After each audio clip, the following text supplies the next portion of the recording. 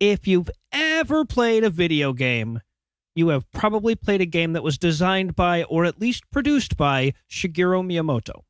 He is, quite simply, the greatest and most influential video game designer who ever lived. Now, to some degree, he's been mythologized over the decades, and his name is now like tangentially attached to a lot of games he hardly had anything to do with. But basically, anything his bosses at Nintendo think has legs gets his name on it now. But he earned his way to that mythical status with games like Donkey Kong, Super Mario Brothers, and The Legend of Zelda.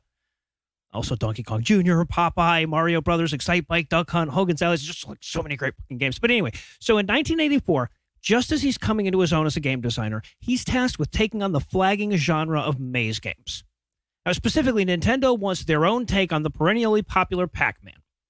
So he works his magic on the concept and comes up with a truly original game. It, its core mechanic is still like, you know, maze full of shit you have to eat, but the maze is larger than the screen, so you have to scroll around a little bit. There's a, these big rolling obstacles that cut off portions of it here and there, and you need certain power ups to do basic shit. But despite the unrivaled success of Miyamoto's games and the fact that the game was super fucking fun, it was never released in the United States even at the height of the Nintendo Entertainment System's popularity, when 30% of American households had one and you could sell 100,000 copies of a 7 Up ad if you called it a Nintendo game, they sat on a game from their very best designer that was already formatted for the medium. So, why keep this masterpiece unreleased? Well, it's called Devil's World, and that would already be a problem, but like, in the game, you play this cutesy little dragon who's literally fighting Satan in hell and the power ups you pick up along the way are little Bibles and crucifixes. And as soon as Nintendo of America's Americans saw it, they were like, dude, you got to be fucking kidding me. And it was buried a thousand feet in the earth below concrete because the last thing a burgeoning company could afford to do in the 1980s was piss off Christians right? They'd shut you down quicker than anything. And when I say shut you down, I'm talking the 80s version of shut you down right? I'm talking pre-internet. If you want to buy something, you need to find a store that sells it. Levels of shutdown. Like in the town I lived in, if like if you were curious about neo-paganism, for example, you were just shit out of luck. There was nothing about it in the library. Not only did the bookstores refuse to sell it, they wouldn't even order it for you if you asked. And none of the video stores would rent documentaries about it or anything like that. And all of those owners of those establishments, they weren't all Christian zealots. They just knew better than to piss off the Christian zealots right? Because those motherfuckers would boycott your business. They'd lean on elected officials to revoke your business license, lean on your landlord, harass your customers, whatever they had to do to enforce their standards of acceptability. Now, we fast forward 40 years, and the internet has largely taken that away from them. The most fascist regime in the world couldn't lock down information as effectively as the churches in Waycross, Georgia could back in 1990.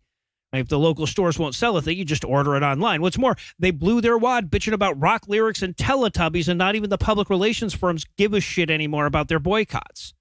And now that they've been rendered impotent from that mode of enforcement, of course, they've declared it to be the height of injustice and call it cancel culture. But you motherfuckers invented cancel culture.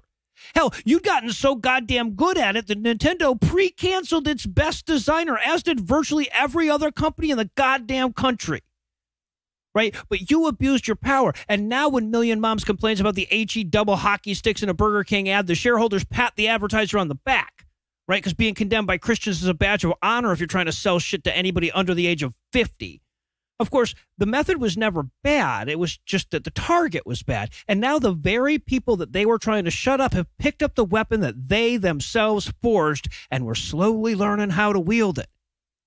I mean, we're not pointing it at the LGBTQ community, of course, we're handing it to the LGBTQ community. We're handing it back to the very groups that have been marginalized by it for all these years. And the more effective we get at it, the more willing they are to pretend that the very concept is egregious. But don't let it fool you for a second. The instant that pendulum swings the other way, they would seize the power back and cancel any cartoon with a fucking wizard in it.